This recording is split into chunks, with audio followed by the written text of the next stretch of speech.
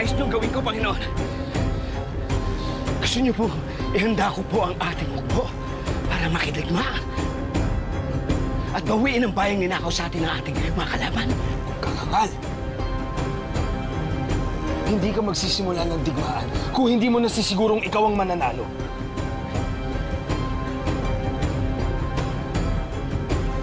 Pero, hindi po ba kayo si Sarimao ang pinakamakapangyarihang nilalang sa San Sinukob? Hindi ba't sapat na ang inyong kapangyarihan para matalo ang kahit anumang kahit anumang digmaan? Hindi ako makakabalik lakas. Eh, bakit naman? Makakabalik lang ako kung dala ko na ang kayamanang kapalit ng kamatayan mo.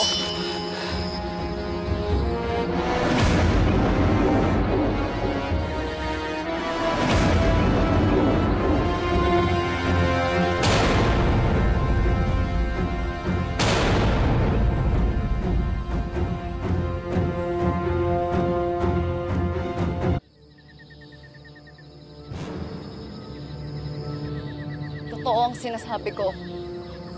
Nandito ako para patayin ka. Kailangan kitang patayin para kay Matadora. Para sa pamilya ko. Bakit hindi mo gawin?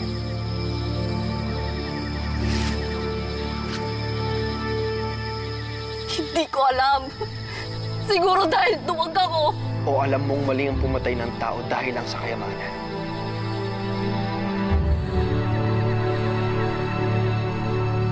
Malakas ang kutob ko nung pinadala kayo ni Matadora para sa pabuya. Tama siya na ikaw ang pinadala niya.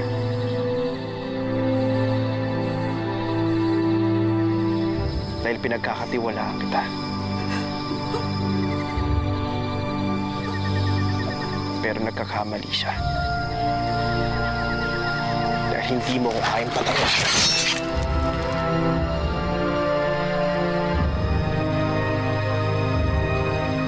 Bumalik ka kay Matadora. Sabihin mo sa kanya meron akong bagong kasunduan para sa kanya.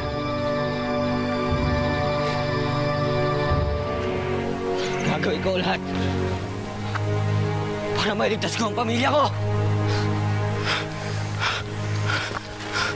Hindi mo sila maliligtas.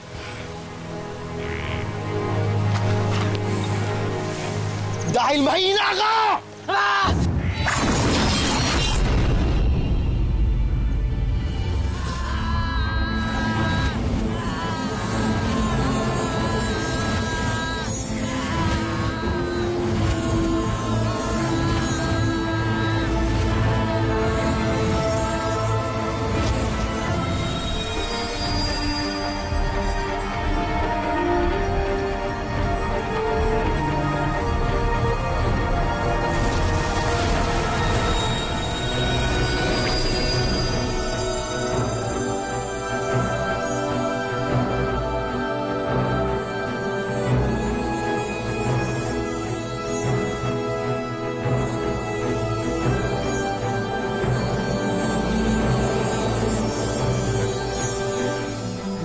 Gara, ah.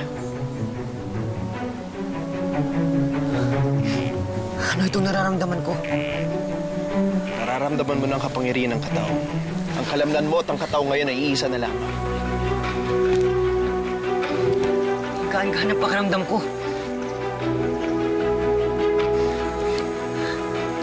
At ang linaw-linaw at kulay-kulay ng paningin ko sa mundo. Aalis na pala kayo. Huwag po kayo mag-alala. Hindi naman po ibig sabihin nito ay tinatalikuran na namin si Lakas. Mas may mabuti lang po kaming gagawin para sa ating laban.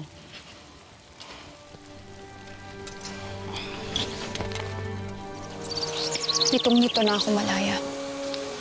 Hindi ko alam kung bakit nandito ako o kung ano ang dapat kong gawin para makaalis ako dito. Sabik na sabik na akong makita ang mga taong mahal ko sa buhay. Mahirap makatakas sa lugar nito. Sino ba siya?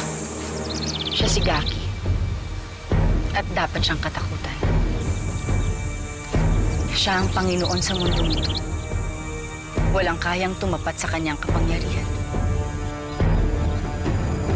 lahat sumusunod sa kanya. Lalabanan ko siya. Palagay mo ba matatalo mo siya? Sino ka ba talaga? Ako ay isang ina.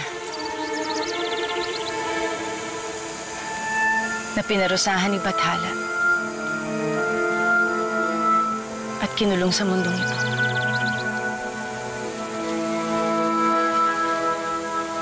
Nang dahil sa mas pinili ko, ang kapakanan ng aking anak.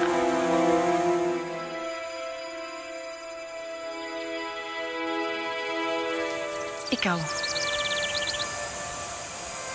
Anong nagawa mong kasalanan? Bakit ka kinulong sa mundong ito?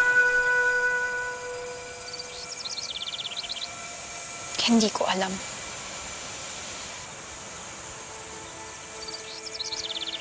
Ang huli kong natatandaan ay kailangan kong magsakripisyo ng buhay para iligtas sa kalaban ang mga taong mahal ko at ang buong sansinukob. At sino itong kalaban niyo? Si Sarimao.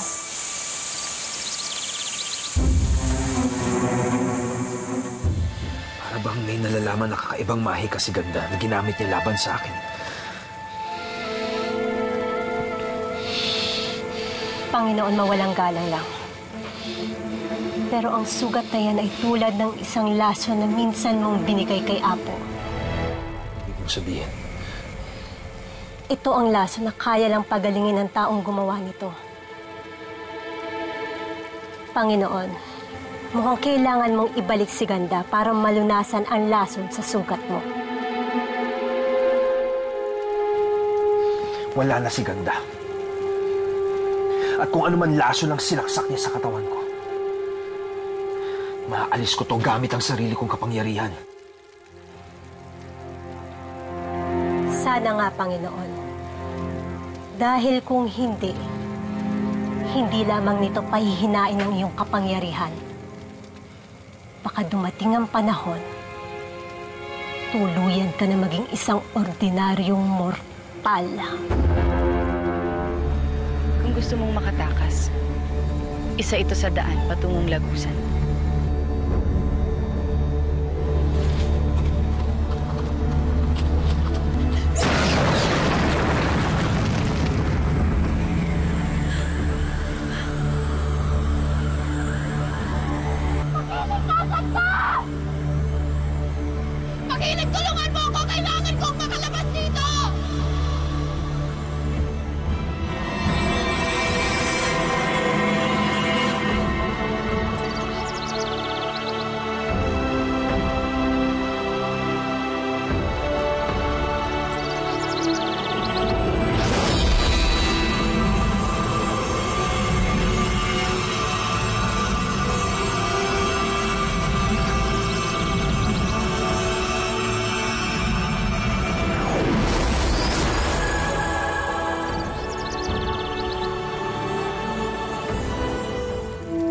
Hindi lang puwersa ng lupa ang kailangan nyo.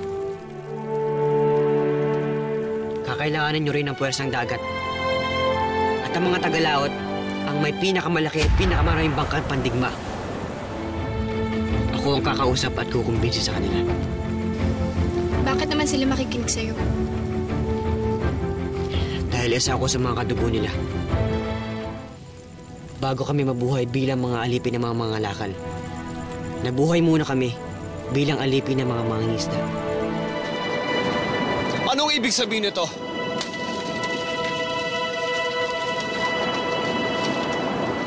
Tawad, Dato.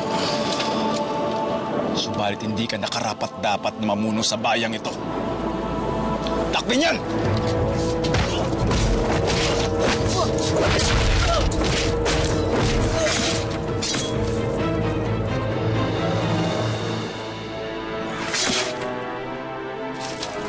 Dato, huwag ka na lumaban.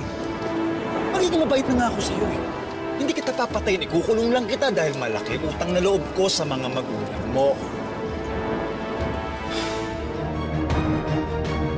Mahal na dato, Hindi sumasang-ayon ang mga alipin. At handang mag-asa ang mga ito para pakawalan ka. Huwag. Gusto nga gawin yan. Masasaktan lang kayo at mas marami pang inosente ang madadamay. Mahal na Dado, hindi ka namin pwedeng pabayaan.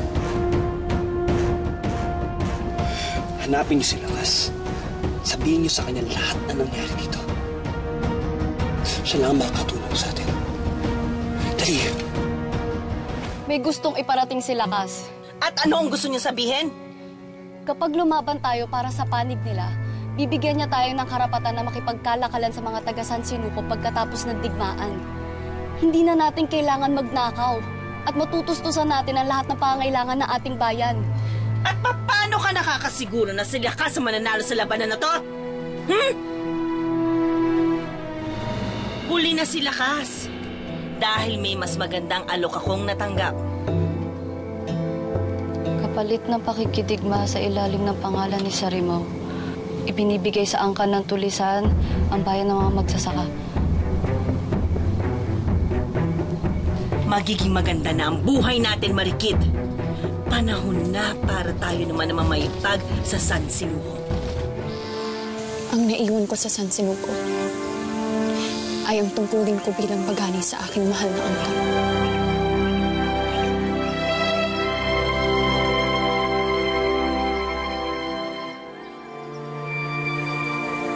Hindi mo na kailangan pang magsinungaling. Ang tungkulin mong naiwan ay may maaaring pumalit. Pero nais mong bumalik. Hindi nang dahil sa iyong tungkulin. Kundi nang dahil sa taong mahal mo.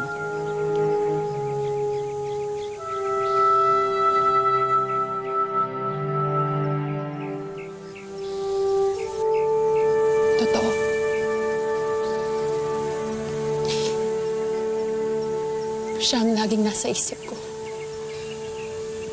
Lagi ko siyang naaalala.